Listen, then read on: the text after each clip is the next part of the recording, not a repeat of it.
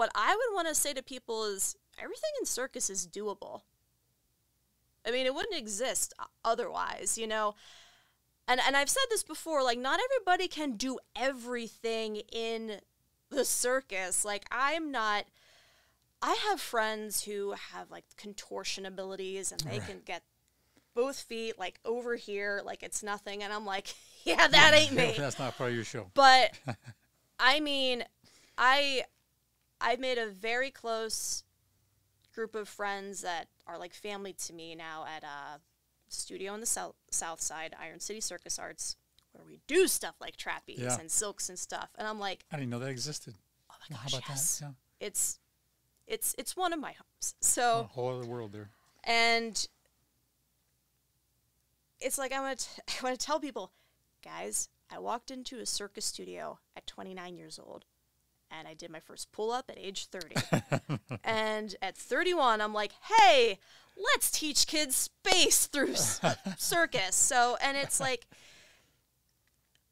I think, you know, like people think, "Oh, I can't juggle." I'm like, "Yes, you can.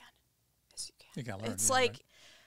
I feel like if I can learn to juggle, anybody can learn to juggle. It's just they're people see it and they think, "No way." I'm like, "No, there Yeah. you can break." they don't see. There's, there's a whole stigma. uh, There's a whole other show too that you see the end result. exactly. You don't see the work that took to get to that point. Like we were, my daughter and I were driving, and there was some guys skateboarding, and they were trying to skateboard from the back, and they kept falling off the skateboard, falling off the skateboard, falling off the skateboard. I go, that's the part you don't see. yeah. All you see are the videos of the people who can do cool tricks. You're like, wow, that's cool. But you don't see the hours and hours and hours of the dudes sitting in the parking lots, falling, falling, falling, falling, over and over again. You think the end result must have been, wow, overnight you just learned this. And I think that I see myself working that into my mission to like I think I need to produce more content of me just failing. I th- yeah, and that's And- that's. I think that would help people realize it. Here, here's you're seeing a finished product that took you how long to develop that, Yeah. and you're thinking, oh my gosh, I can't do that. There's no way. There was a there was a story I heard a long time ago. I'll never forget this.